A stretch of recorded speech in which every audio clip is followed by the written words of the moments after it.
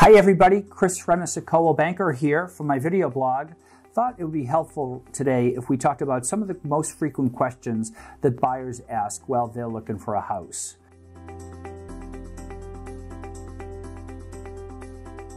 So one of the first questions that people ask me is about the location and what's the best place to live is what people generally ask me. And it really kind of depends on you and what you need, where you work, what you're looking for in the neighborhood, uh, location to uh, proximity to public transportation. So every neighborhood is a little bit different.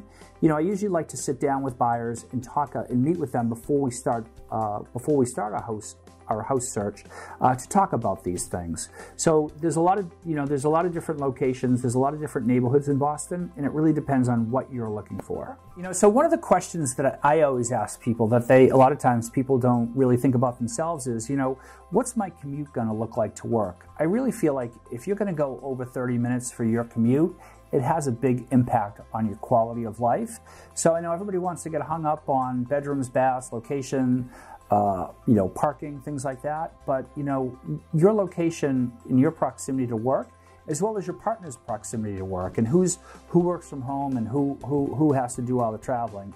It's it's a big deal, and it's something that a lot of times when people are living in the city, they don't consider uh, upfront as much as they should. So one thing that a lot of people ask about are the utilities. You know, as soon as I have a buyer uh, expresses any interest in a house, and I think that there's you know a high level of interest in the house, I'll ask the uh, I'll ask the listing agent if they can provide us with the history of the utilities. I always warn the buyers that you know just just because this is the way that the uh, the current seller, this is their bills. It, your utility bills are really going to depend on you know your usage, how you how, how often you're home, how high you like the temperature. You know, another thing to always consider too is the condo fee. You know, every house you walk in, every condo that you walk into, you want to ask about the condo fee and what they include. Condo fees, you can look at one and think it's it's very low, but if it doesn't include the heat and the hot water, you know, you might be paying a lot more in the long run. So you really want to kind of understand, you know, how the utilities are going to relate to the condo fee and what's included in your condo fee. If the heat and hot water are or are not included in the condo fee, it's really going to make a big impact on your monthly expenses. And you really want to understand, you know, what you're paying for in your condo fee and what you're not paying for in your condo fee. Another question that people ask is people will always want to know, you know, what questions, Chris, what questions should I be asking? If I go into an open house, what questions should I be asking the listing agent? You know, I always tell people you want to understand, you know, some of the big ticket items in the house. You want to know the age of the roof, when it was replaced. Has there been, have there been any, any le recent leaks?